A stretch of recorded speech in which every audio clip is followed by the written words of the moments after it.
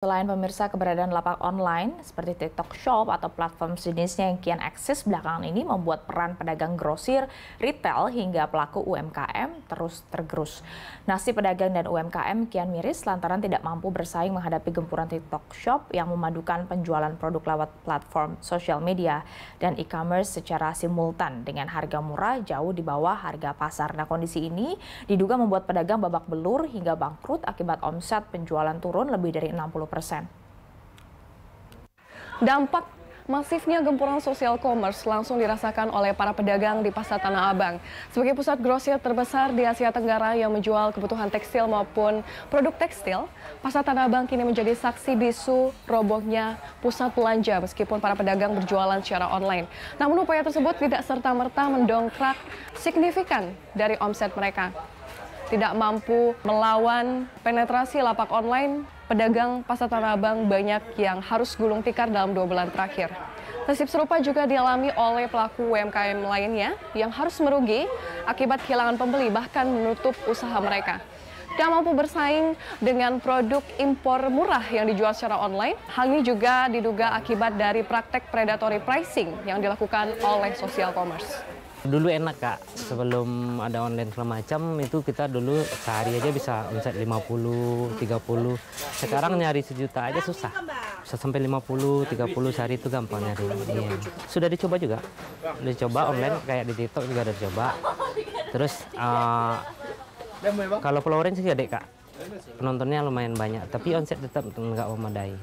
Paling misalnya yang nontonnya agak 300 atau 400 larisnya juga empat potong tiga potong enggak. Itu paling kalau ini 15.000 per potong 20 buat per potongnya ya.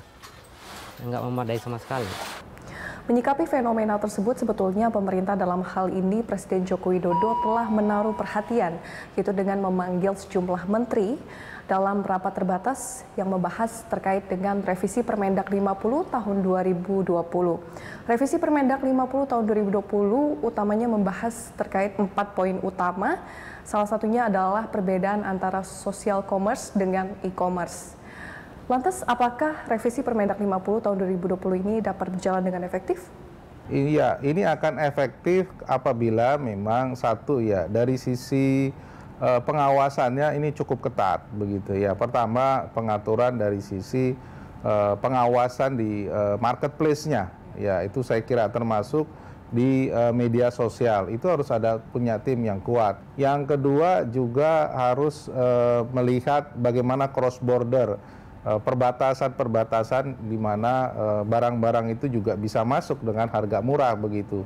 Meski katakanlah sudah ada permendak, tetapi cross border kita sangat luas dan terbuka, ya barang-barang seperti itu akan sangat mudah sehingga butuh pengawasan baik di katakanlah offline maupun di online ya. Satu lagi yang syarat penting adalah e, harus ada kelembagaan yang kuat ya, e, terutama baik dari e, pemerintah Revisi Permendak 50 tahun 2020 sudah ditekan oleh Presiden Joko Widodo dan juga kementerian terkait.